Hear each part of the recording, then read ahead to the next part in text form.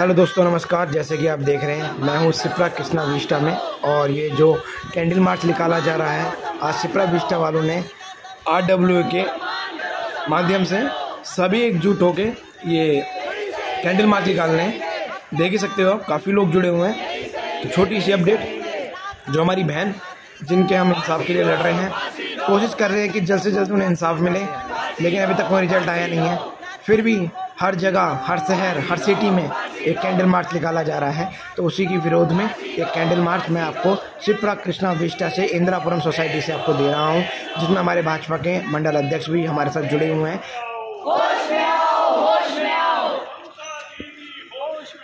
नारी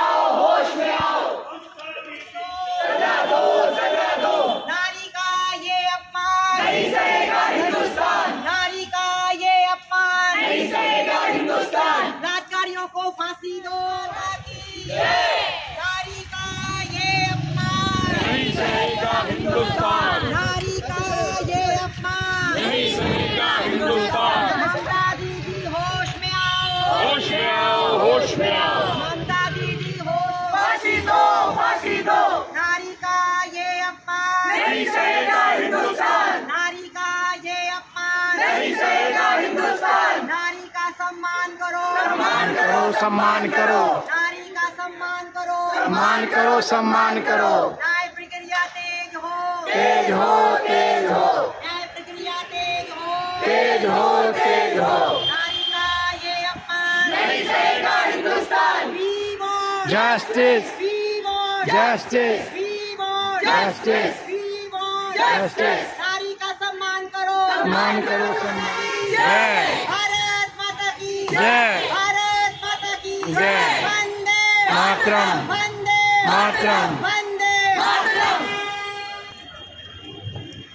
बड़ी शर्म की बात है कि वहाँ की मुख्यमंत्री श्रीमती ममता बनर्जी, जो कि वहाँ की मुख्यमंत्री है, गृह मंत्री है, स्वास्थ्य मंत्री है, जिनकी हर डिपार्टमेंट की ज़िम्मेदारी इससे संबंधित उन्हीं के पास है। और उसके बाद भी वो सड़कों पर प्रदर्शन कर रही हैं, केवल अपने बचाव के लिए। आखिर एक्शन कौन लेगा? यदि वो एक्शन नहीं लेंगी तो किसके पास ये अधिकार है उस राज्य सरकार में? उसका नाम ले। हमारी मांग है कि वहाँ जल्द से जल्द राष्ट्रपति शासन लगे और ममता सरकार को बर्खास्त किया जाए। बहुत बढ़िया। क्या बात है? आज के इस कार्यक्रम में हमारे साथ हमारे इंदिरापुरम मंडल के भाजपा के अध्यक्ष श्री अरविंद बख्शी जी भी उपस्थित हैं, महामंत्री भाई दत्ता जी भी हैं। मेरा उनसे आग्रह है कि कृपया आगे आए, जिससे कि उनका परिचय सभी से हो सके। और उन्होंने जो हमारा यहाँ हौसला अफजाई की है आकर, मैं उनको धन्यवाद देता हूँ। महिला क्लब की ओर से, सीनियर सिटीजन क्लब की ओर से, और विस्तावासियों की ओर से। कि इस ज्वलंत समस्या पर अपने विचार ज़रूर प्रकट करें। भाई बख्शी जी। शिवराज कृष्णा मिश्रा के सभी आदरणीय मैं इतने लंबा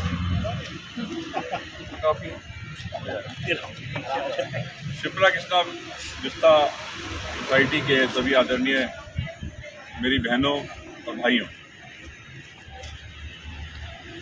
हृदय विदारक घटना है ये।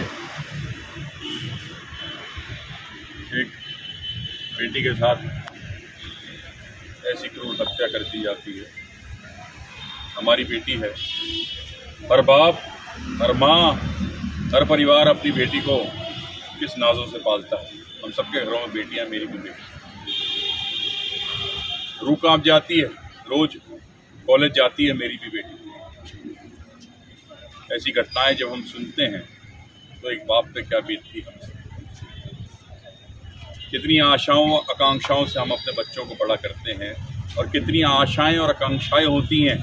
जब एक बच्ची अच्छा करती है, एक डॉक्टर, कितनी जानें बचा सकती थी और ऐसे निर्ममता से उस बेटी की हत्या कर दी गई गैंगरेप कर दिया गया। Justice delayed is justice denied इतनी देरी लग रही।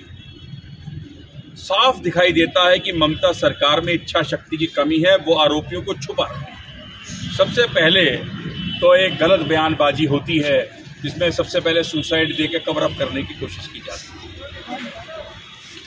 इतनी गैर जिम्मेवाराना, ऐसी एक महिला से आकांक्षा आप नहीं कर सकते। एक महिला मुख्यमंत्री होके भी आज तक आप दोषियों को सजा नहीं दे पाए। मुझे नहीं लगता कि उनसे दोषी छुपे। पूरे हिंदुस्तान में जगह जगह विरोध प्रदर्शन हो रहे हैं। हमारे इंदिरापुरम में मैं ऐसे तीसरे विरोध प्रदर्शन का हिस्सा बना हूँ।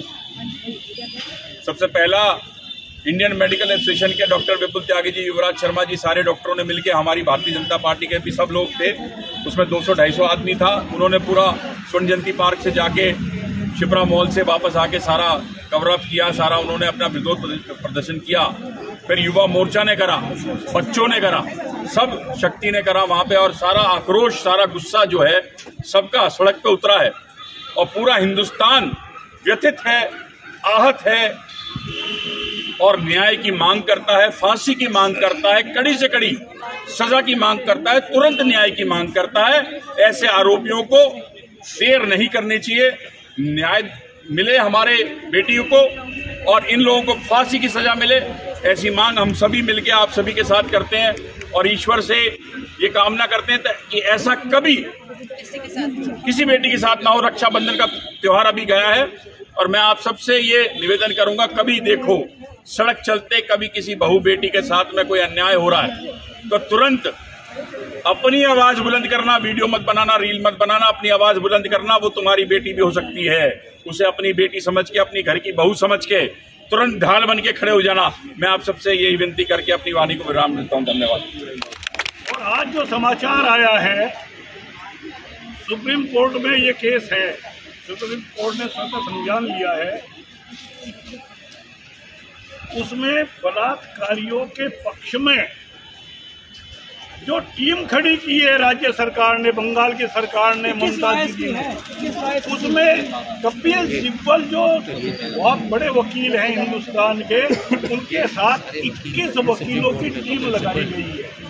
क्या ममता सरकार ये चाहती है कि उसको न्याय ना मिले? को न्याय ना मिले? ममता ने।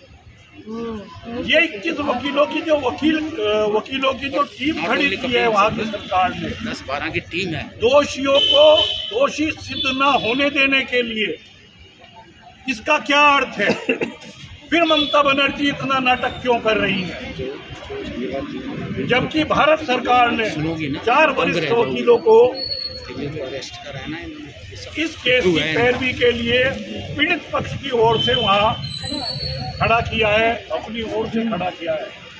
क्योंकि पीड़ित पक्ष की स्थिति तो ऐसी नहीं है कि वो इतने बड़े बड़े वकीलों की फ़ीस दे सके। ये कितने शर्म की बात है और ममता दीदी को फिर भी शर्म नहीं आ रही पूरे है। विपक्ष को शर्म आनी चाहिए। जो विपक्ष हर जगह जाके छोटे छोटे किसी भी बात पे इतने धरने प्रदर्शन करता है वो आज कहाँ है? ममता के साथ में जो ये खड़े होते हैं इतने सारे वो सारा विपक्ष आज कहाँ है? कोई नहीं दिख रहा उस बेटी के सपोर्ट में सामने आए और न्याय की मांग करे। महिला वेलफेयर क्लब की तरफ़ से मैं चाहूँगा कि श्रीमती गीता सिंह या मधु सिंह मधु श्रीमती मधु सिंह या प्रिया विश आगे सभी का धन्यवाद करें। हमारे वैसे मैं मर्मस्पर्शी मर्म- मर्मस्पर्शी जो ये कांड था इसका हम लोगों ने बहुत ज़्यादा असर हुआ हम महिलाओं ने इसका मतलब आवाज़ उठाई, लेकिन हमारे महिलाओं, हमारे सब लोग भाई बहन सब हमारे जो रिश्ता के वासी हैं। सब लोगों ने हम लोगों का साथ दिया लेकिन एक बात मैं बताना चाहूँगी कि महिलाओं का यही एक नहीं है जगह जगह इस तरह के कांड हो रहे हैं इसलिए आपको आत्म एकदम आत्मविश्वास आत्म मज़बूत होना पड़ेगा इस तरह नहीं कि आपको जगह जगह लोग दबाते रहें जगह जगह आपको देखेंगे तो कमज़ोर समझ के जैसे छोटी मछली बड़ी मछली को खा जाती है वही इसलिए आप लोग अपनी महिलाएँ अपने में कमज़ोर ना बने और अपने को खुद मतलब सेफ्टी में हिसाब अपने अपनी रक्षा के लिए कुछ ना कुछ लेके चले पेपर स्प्रे है ये सब चीज़ें मिल जाती हैं। इसलिए उनको मैं आप चले। लोग का सबका मैं धन्यवाद करती हूँ।